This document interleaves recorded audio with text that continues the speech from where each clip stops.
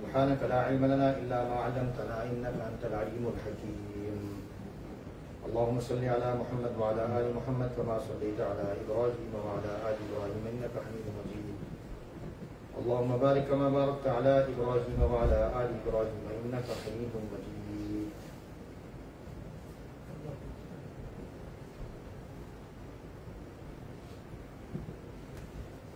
حدیث میں ایک واقعہ آتا ہے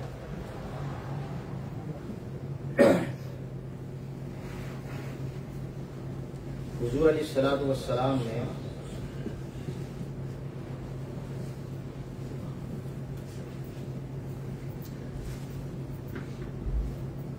ایک مرتبہ خواب دیکھا۔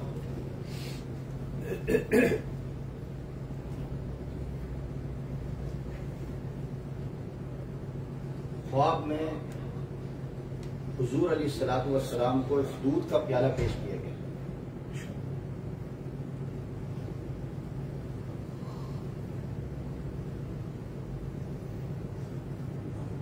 اور روایت میں آتا ہے کہ حضور صلی اللہ علیہ وسلم فرماتے ہیں کہ وہ دودھ کا پیالہ مکمل بھرا ہوا تھا۔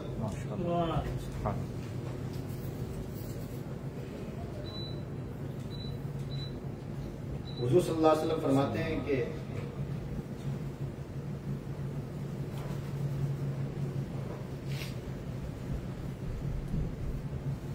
اس دودھ کے پیالے سے میں نے دودھ پینا شروع کر دیا۔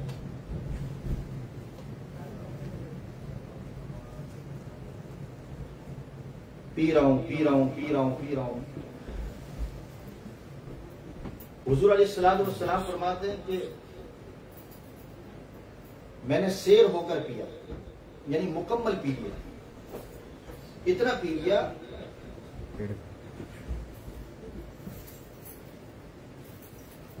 کہ مجھے محسوس ہو رہا تھا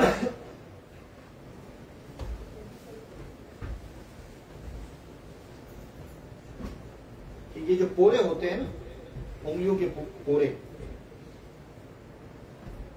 یہ دودھ میں نے اتنا پیا اتنا پیا کہ دودھ کا پینا مجھے پوروں تک محسوس ہونے لگا۔ سبحان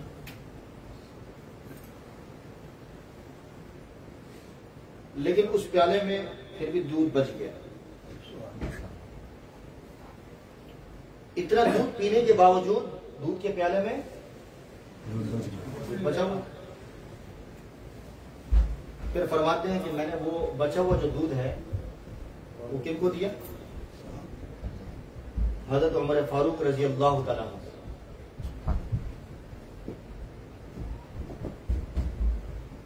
تو حضور علیہ السلاۃ والسلام کی عادت ہوتی تھی کہ صبح کے وقت فجر کی نماز کے بعد بیٹھا کرتے تھے، مجلس ہوتی تھی۔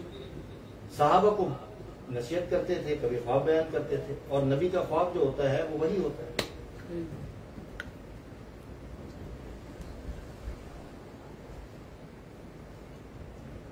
تو صحابہ نے پوچھا کہ اس کا کیا مطلب ہے کہ اتنا دودھ پیا؟ اور پھر آپ نے حضرت عمر فاروق کو دے دیا رضی اللہ تعالیٰ عنہ۔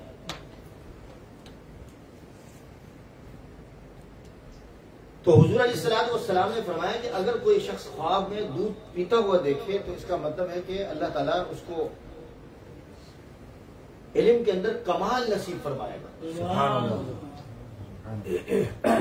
علم کے اندر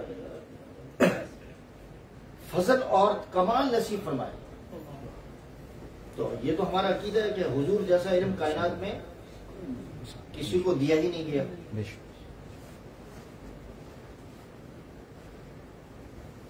پھر محدثین یہ کہتے ہیں، شرح کرتے ہیں کہ حضور علیہ السلام والسلام نے جو بچا ہوا جو دودھ حضرت عمر فاروق رضی اللہ تعالیٰ عنہ کو دیا، اس کا کیا مطلب؟ تو نبی اکرم صلی اللہ علیہ وسلم نے فرمایا کہ علم دودھ کو اگر خواب میں دیکھے تو اس کو تعبیر کس طرح کریں گے؟ کہ اللہ تبارک و تعالیٰ اس کو علم اور کے اندر فضل اور کمال نصیب فرمائے۔ فرمایا کہ حضرت عمر فاروق رضی اللہ تعالیٰ کی مناسبت اللہ تبارک و تعالیٰ نے علم کے ساتھ جوڑ دی۔ یعنی ایسا علم اللہ تبارک و تعالیٰ عطا فرمائیں گے کہ جو اللہ تبارک و تعالیٰ نے نبی اکرم صلی اللہ علیہ وسلم کو عطا سبحان اللہ کوئی سمجھ میں آ رہی بات؟ یعنی اللہ تبارک و تعالیٰ جو علم حضور علیہ السلام وسلام کو جو عطا فرمایا، وہی علم اس سے، اس اس سے یہ تعبیر لی جا رہی ہے۔ کہ بھئی یہ ذرا ان کو جگہ بناؤ ان کے لیے۔ وہ وہ جگہ وہ نہیں سامنے تو اللہ تبارک و تعالیٰ نے جو حضور علیہ السلام والسلام کو علم کے اندر کمال عطا فرمایا اور جو بچا ہوا جو دودھ نبی کرم صلی اللہ علیہ وسلم نے ان کو دیا، حضرت عمر فاروق رضی اللہ عنہ کو دیا، تو اللہ تبارک و تعالیٰ نے وہی علم، وہی فضل، حضرت عمر فاروق رضی اللہ عنہ، وہی علمی استعداد یعنی نبوت کا، نبوت کی استعداد نبوت والی استعداد علم والی استعداد جو اللہ تعالیٰ نے حضور علیہ السلام کو عطا فرمائی تھی۔ اس کی تعبیر یہ ہے کہ اللہ تعالیٰ نے حضرت عمر فاروق کو بھی وہی علم عطا فرمایا۔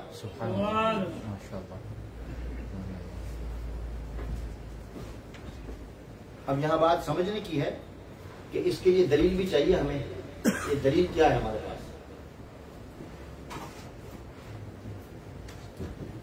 حضور علیہ السلام والسلام کی حدیث ہے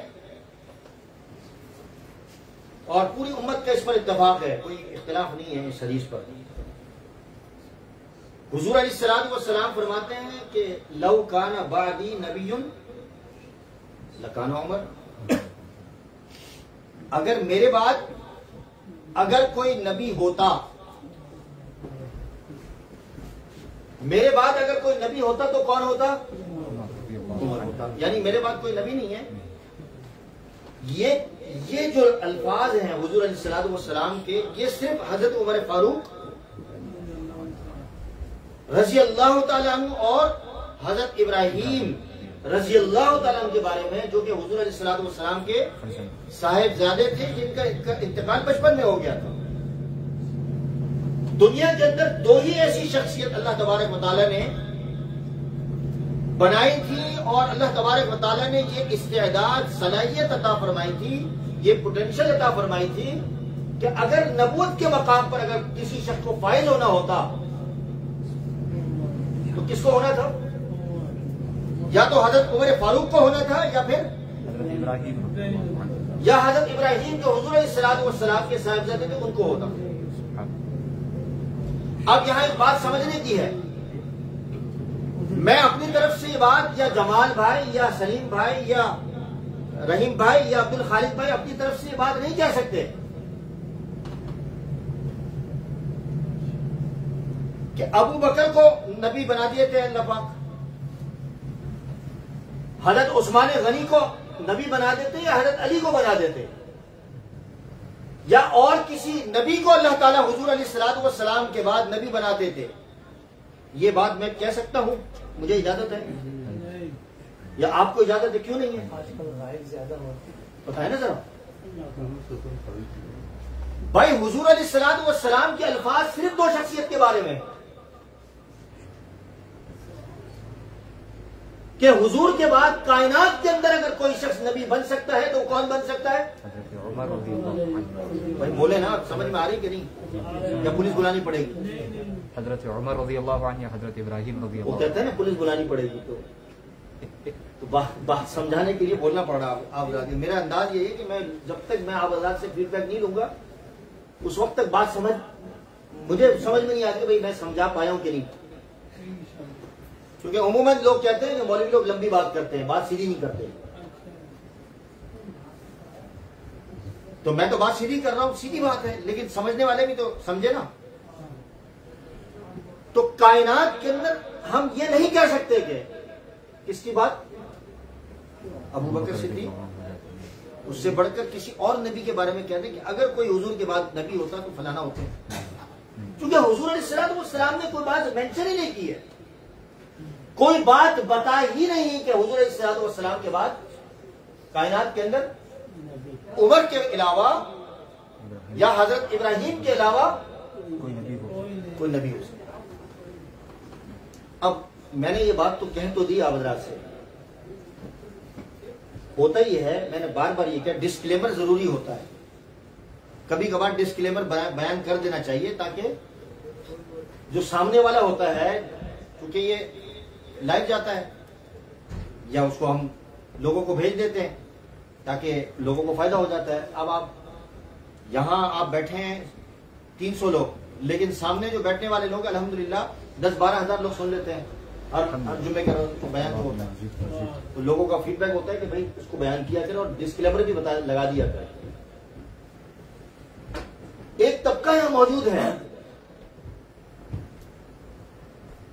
کائنات کے اندر ایک طبقہ موجود ہے جو مرزا غلام احمد قادیانی کو مانتا ہے۔ اب جب یہ بات میں نے کہہ دی تو وہ یہ کہنا شروع کر دیں گے لوگوں کے سامنے. کٹ پیس لگا کے کہ یہ بات مولوی نے کہی ہے، سہیل بابا نے. اور ادھر سے ایک بات اپنی پیش کر دیں گے تاکہ یہ جو صحیح بات ہے، جو صحیح بات جو سمجھنے والے لوگ ہیں،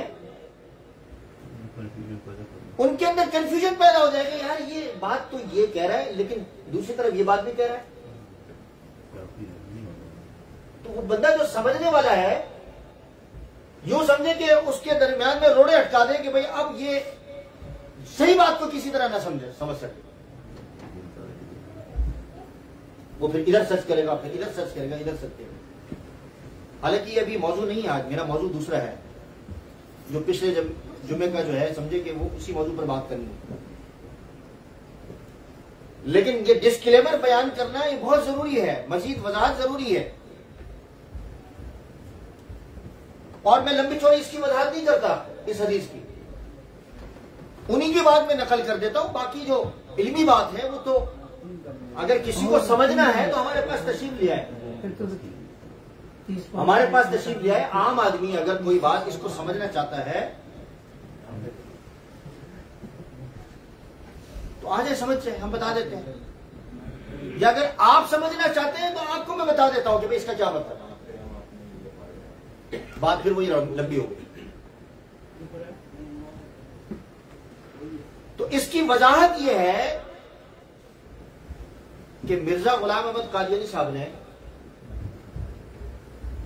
اپنی کتاب کے اندر یہ والی جو یہ کتاب ہے نا، اس کے اندر جو بات لکھی، اس سے پہلے بات میں جو ان کا اعتراض ہے وہ میں آپ کو عرض کرنا چاہتا ہوں۔ اعتراض یہ ہے، کہتے یہ ہے کہ یہ حدیث غریب ہے۔ اب آپ اس کو غریب کو وہ مانا مت لیجیے گا کہ غریب۔ یہ ایک اصطلاح ہوتی ہے۔ اصول حدیث۔ ضعیف، حسن، صحیح، غریب۔ ٹھیک ہے؟ یہ ابھی آپ لوگوں کو سمجھ میں نہیں آئے گی، لیکن اس کا جو میں بات کہہ رہا ہوں، یہ ایک مسترد بات ہے۔ تو عرض یہ ہے کہ جو حدیث غریب ہوتی ہے، کیا وہ غلط ہوتی ہے؟ اس کا جواب یہ ہے یہ جو حدیث غریب ہوتی ہے آپ سے آپ سے ہم پوچھتے ہیں سوال کرتے ہیں کہ جو حدیث غریب ہوتی ہے۔ غریب ہوتی ہے وہ کیا غلط ہوتی ہے؟ یا ضعیف ہوتی ہے؟ نہیں ایسی بات نہیں ہے۔ اگر ایسی بات ہوتی ہے آگے چلتے ہیں تھوڑا سا۔ اب انہی کی بات میں نقل کر لوں۔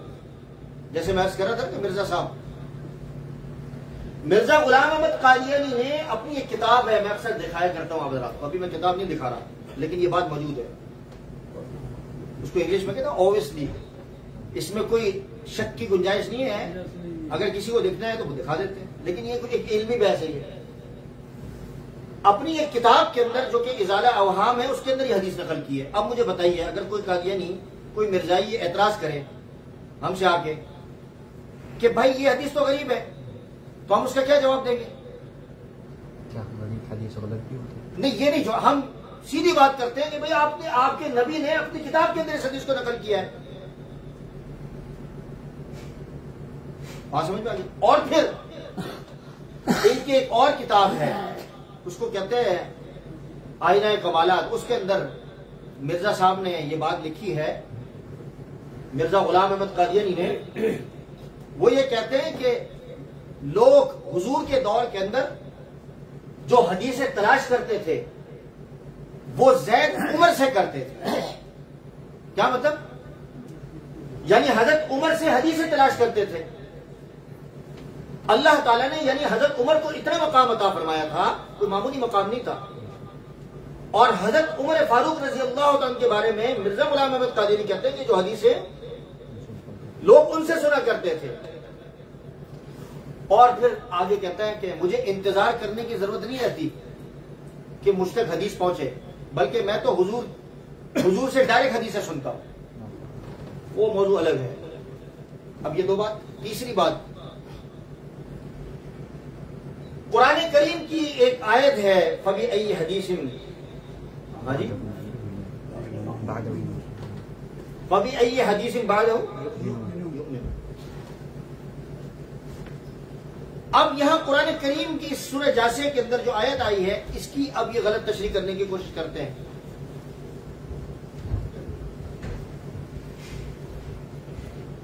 وبی ائی حدیث بعد ہو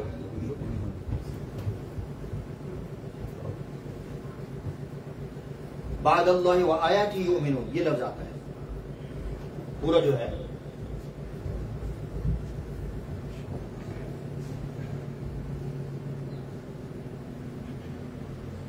اب یہاں بات کا لفظ آیا جی۔ بعد اللہ و آیات یؤمنون۔ یہاں جو بات کا لفظ آیا کہتے ہیں کہ یہ یہ ایک اصطلاح ایک اور اصطلاح ہے ان کے ہاں ان کی اصطلاح یہ ہے، وہ یہ کہتے ہیں کہ جی یہ مغایرت اور مخالفت کے لیے آتا ہے یہ بات کا لفظ۔ فبی ائی حدیث بعد اللہ و آیاتی یؤمنون۔ یعنی اللہ کے بعد، اس کا کیا مقصد؟ اللہ کے جانے کے بعد؟ یعنی اللہ کی غیر حاضری کے بعد؟ یہاں جو ترجمہ تو یہ ہو رہا ہے۔ تو اس، میں آپ کو، میں یہ نہیں کہہ رہا کہ آپ اپنے دماغ پر زور ڈالیں، صرف یہ میں بتلانا چاہ رہا ہوں کہ یہ بات بھی تھوڑی سی ہو جائے تاکہ ڈسکلیمر واضح ہو جائے، یہ جو واضح ہو جائے ہمارے ڈسکلیمر سے کہ بھائی یہ بات پوری نہیں کرتے، ہم تو بات پوری کرتے ہیں۔ عربی کے قواعد کے اندر، عربی لغت کے اندر یاد رکھیں، کہیں آپ کو آپ کو یہاں بعد کے معنی کے اندر مغایرت یا مخالفت کا معنی نہیں ملے گا اور اس کی نظیر کہیں نہیں ملے گی۔ بس اتنی بات کو سمجھ اور پھر ہم نے اس کی اور بھی ہم وضاحت کر سکتے ہیں۔ یہ جو قرآن کریم کی آیت کا مطلب یا اس حدیث کا مطلب یہاں جو بات کا لفظ آیا ہے، لو کانا بادی نبی یعنی بات کے لفظ سے ان کو تکلیف ہے کہ بات کا لفظ آیا ہے، تو اس کا مطلب یہی ہے کہ نبوت جاری ہے۔ ایک اعتراض کر کے کہ بھائی یا اللہ کے بعد یعنی اللہ کے فوت ہو جانے کے بعد کون ان آیت کو سمجھے گا؟ یا کون یقین کرے گا؟ یہ آیت پیش کر دی۔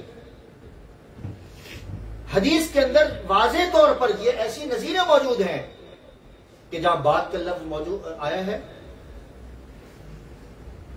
اور واضح طور پر یہ بات سمجھائی گئی کہ وہاں مغایرت اور مخالفت کا معنی نہیں ہے۔ یہ بات میں ان لوگوں پر چھوڑتا ہوں جو سن رہے ہیں، جو اس موضوع سے متعلق متعلق رکھتے ہیں، یا جو یہاں بیٹھے ہوئے شخص ہیں کہ یہ یہ کس قسم کی اصطلاحات ہیں؟ اب عام آدمی جو ان قسم، اس قسم کی اصطلاحات کو نہیں سمجھتا، اب قرآن کریم کی ایک آیت آپ کے سامنے رکھ دیتا ہے کہ دیکھیں، یار یہاں تو بات کا لفظ آیا، یہ قرآن کریم کی آیت کے بات کا لفظ آپ آپ کیا جواب دیں گے مجھے بات عام آدمی تو کیا جواب دے گا؟ کوئی نہیں دے سکتا۔ آخر وہ کنفیوز ہی ہوگا نا۔ تو ان لوگوں کا مقصد علم کو پھیلانا نہیں ہے، لوگوں کو کنفیوز کرنا ہے، بس۔ تو ہم اسی کنفیوژن کو دور کرتے ہیں۔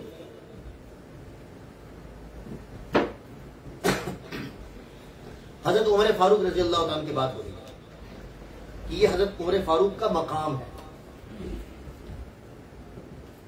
حضرت عمر فاروق رضی اللہ عنہ کے بارے میں حضور علیہ السلاط والسلام سے امی عائشہ صدیقہ رضی اللہ تعالی عنہ نے ایک بار ستارے نکلے ہوئے تھے۔ تو حضرت امی عائشہ نے پوچھا کہ یہ جو ستارے نکلے ہیں، اس کے برابر کسی کی نیکی ہے؟ یہ لمبی روایت ہے۔ فرمایا کہ ہے۔ تو حضرت امی عائشہ سمجھی کہ میرے والد صاحب کا نام لیں گے، حضرت ابو بکر کا، رضی اللہ تعالیٰ تو حضور السلام والسلام نے فرمایا کہ ستارے مجھے بتائیے ستارے کو گن سکتا ہے؟ فرمایا کہ عمر۔ تو امی عائشہ تھوڑی سی سمجھ گئی وہ سمجھ گئے کہ بھئی والد کا نام نہیں آیا۔ تو حضور صلی اللہ علیہ وسلم نے فرمایا کہ اس ستاروں سے بڑھ کر تیرے باپ کا نام۔ تیرے باپ کی اللہ۔ اور عمر ایک بار ابو بکر کے پاس نیکی کا تبادلہ کرنے کے لیے آئے تھے۔ یہ واقعہ میں پھر بعد میں عرض کروں گا۔ لیکن یہ حضرت عمر فاروق کا یہ مقام۔ تیسرا واقعہ۔ حضرت عمر فاروق ممبر پر بیٹھے ہوئے ہیں۔ مسجد نبی کے اندر، صلی اللہ علیہ وسلم۔ اور ایک دم سے خطبے کے دوران جمعے کا خطبہ ہو رہا ہوگا، یا کوئی اور بیان ہو رہا ہوگا، یا سارے الجبل، یا سارے الجبل۔ سارے صحابہ حیران کہ خلاف توقع یہ لفظ اور پھر بعد میں ایک صحابی تشریف لائے سارے صحابہ بیٹھے ہوئے تھے۔ کہ آپ نے آپ کی آواز سنی گئی اور ہم تو ہزاروں میل دور تھے۔ ہم تو کہاں تھے؟ ہزاروں ہزاروں میل دور تھے۔ اور آپ کی آواز ہم نے سنی دور سے۔ یا سارے جبل اچھا یہ یہ جو آواز سنی ہزاروں میل وہ کون کون سا ایونٹ تھا؟ صحابہ اکرام رضوان اللہ علیہ مجمعین کسی ایک مہم پر تھے۔ ایک جنگ چل رہی تھی۔ تو حضرت عمر فاروق رضی اللہ تعالیٰ نے فرمایا کہ ہاں یہ میں نے کہا تھا۔ پہنچی تھی آواز؟ یہ الفاظ میرے ہیں۔ پہنچی تھی؟ کہا کہ ہاں آپ کی آواز تھی نا بالکل آپ کی آواز تھی۔ فرمایا کہ ان قریب ایسا لگ رہا تھا، ان قریب ایسا لگ رہا تھا، جمال بھائی ذرا سنیں۔ ان قریب ایسا لگ رہا تھا کہ ہمیں شکست ہو جاتی، لیکن جب آپ کی آواز، یہ ساریہ ایک صحابی کا نام تھا، ان کو جب آپ نے آواز دی تو وہ سمجھ گئے، وہ پہاڑی کی اونٹ پہ چلے گئے۔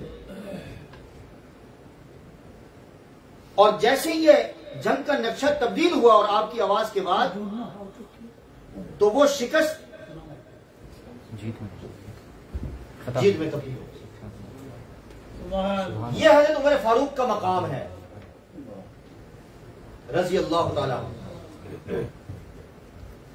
حضرت عمر فاروق کے مقام پر مجھے اتنی زیادہ لمبی چوری بات نہیں کرنی لیکن یہ وہ صحابی ہیں کہ چودہ سے زائد مرتبہ زمین پر موجود ہیں۔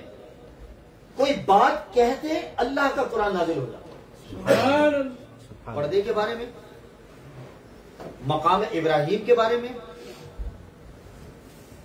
اور کئی ایسے واقعات کے اندر جو حضور علیہ السلام والسلام کے سامنے رکھا کہ یہ ہونا چاہیے مشورہ دیا اللہ کا قرآن نازل اللہ۔ اب یہاں یہ بتائیے کہ دیکھیں ایسے تکوینی صحابی تھے کہ اگر دنیا کے اندر ایک اور بات کہ اگر دنیا کے اندر اگر کوئی اس طرح کی کرامات دکھائے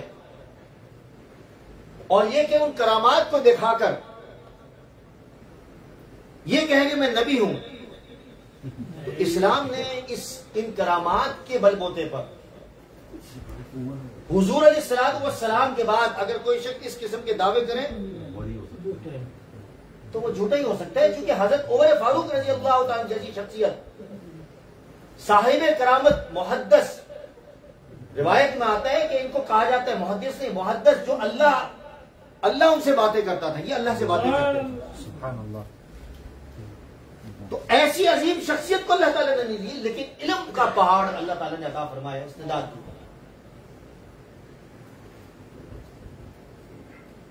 تو صحابہ نے بات کو ہم ختم کرتے ہیں۔ پچھلے جمعے کی جو بات رہ گئی تھی اتنی تمہید آپ کے سامنے جو باندھی ہے میں نے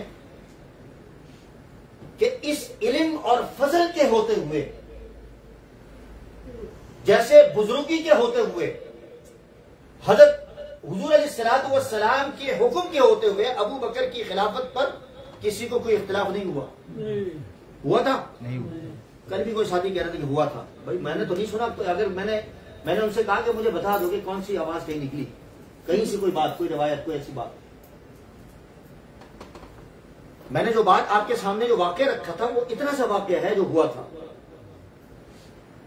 کہیں کسی کا اختلاف نہیں ہوا اور حضرت علی رضی اللہ تعالیٰ کے بارے میں روایت میں آتا ہے، اتنی بات تھوڑی سی مینشن کر دوں کہ حضرت فاطمہ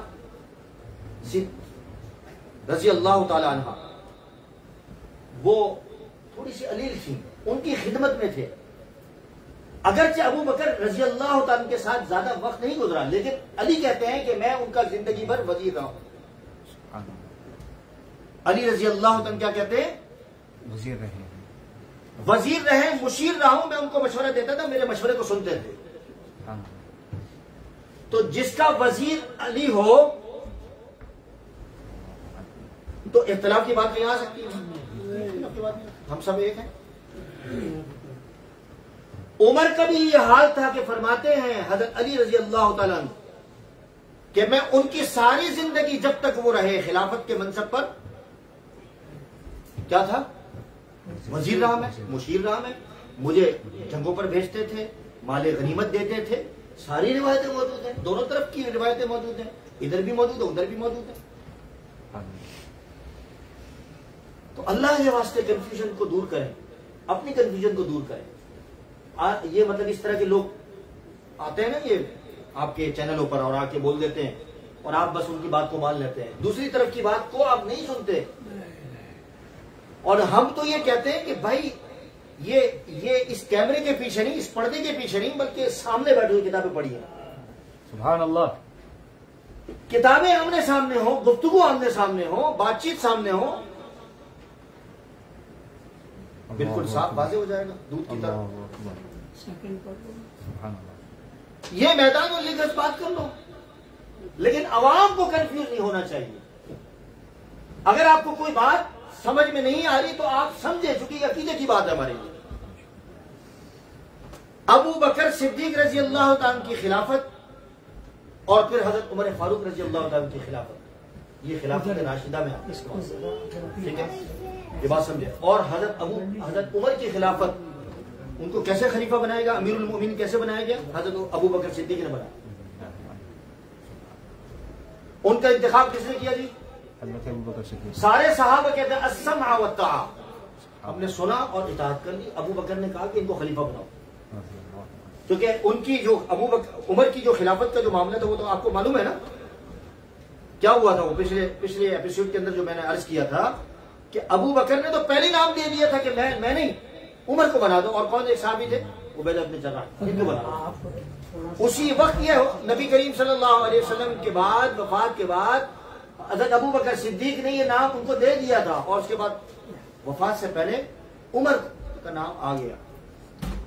مجھے بتائیے کہ اتنے علم کے متباہر، پہاڑ جبل کہ دور تک ہزاروں میل کے لوگ بات کو سن سکتے ہیں۔ اب مجھے بتائیے کہ جو موجود لوگ دنیا کے اندر ہوں گے آمنے سامنے والے ان کے علم سے فیض نہیں پایا ہوگا؟ بتائیے مجھے۔ آگے جو اگلا جو مرحلہ ہے جو اگلے جمعے کا جو مرحلہ ہے وہ ہے حضرت عثمان رضی اللہ تعالیٰ کی خلافت کا معاملہ۔ وہ انتخاب وہ ووٹنگ جو آج کی ایک ووٹنگ ہوتی ہے نا دنیا کے اندر، وہ صحابہ کی ووٹنگ کس طرح ہوتی تھی صحابہ اکرام اور حضرت عثمان عثمان غنی یا صحابہ کے دور میں ووٹنگ کس طرح ہوتی تھی؟ وہ آپ کے سامنے انشاءاللہ میں عرض کروں ٹھیک ہے؟ اس کو سنیں گے انشاءاللہ، جلدی آئیں گے۔ حضرت عثمان غنی کا انتخاب کیسے ہوا؟ اور اس میں صحابہ نے کس طرح کردار ادا کیا؟ ذرا مشکل مرحلہ تھا۔ چونکہ ایک کمیٹی بنا دی گئی تھی حضرت ابو بکر صدیق رضی اللہ، حضرت عمر فاروق رضی اللہ عنہ کے دور میں۔ اور حضرت عمر فاروق، حضرت ابو بکر صدیق رضی اللہ عنہ کے دور کے اندر ایک کمیٹی بنی ہوئی تھی، ایک تشکیل تھی۔ تو اس کے بعد پھر کیا آگے مرحلہ ہوا؟ اس کو آپ انشاءاللہ کوشش کریں کہ آپ سنیں اور اس بات کو سمجھیں۔ یہ بات کو سمجھنے والی بات یہ ہے کہ جو لوگ کنفیوز ہو رہے ہیں، آخر کی بات تو یہی ہے نا کہ میں تقریر کر دوں، بات ختم۔ آپ کے گھر کے اندر جو بچے آپ کے کنفیوز ہو رہے ہیں۔ ٹی وی چینل پر دیکھ کر سوشل میڈیا کو دیکھ کر یا کہیں سن کے آ گئے تو وہ ایک عقیدہ ایک ذہن بن گیا۔ تو ان کو سمجھانا آپ کی ذمہ داری بنتی ہے۔ ہم نے تو بات کر دی۔ اتنا ایزی مت کرو کہ میں چھوڑ دوں۔ آپ سے گزارش ہے کہ اپنے بچوں کے ایمان کی حفاظت کی ذمہ داری لیں چونکہ اس کا تعلق ایمان سے ہے عقیدے سے ہے۔ ہر بات سمجھنا یہ ضروری ہے آپ کے لیے۔ اس لیے باتیں بتائی جاتی ہے اللہ تبارک و تعالیٰ خیر کا معاملہ فرمائے۔ اور ایک اور گزارش ہے کہ ہمارے جو ٹرسٹی ہیں، غلام بھائی دلال صاحب، پچھلے ہفتے سے بیمار ہیں اسپتال میں ہیں۔ اور کچھ ان کی یعنی وہ ٹیسٹ وغیرہ ہو رہے ہیں۔ دعا کریں اللہ تبارک و تعالیٰ ان کو صحت کاملہ، عاجلہ مستمدہ ان کی بڑی خدمات ہیں۔ اللہ تعالیٰ کو ان کو اس خدمات کو بھی قبول فرمائے۔ صحت کاملہ عاجلہ مستمرہ دائمہ نصیب فرمائے۔ وآخر دعوانا الحمدللہ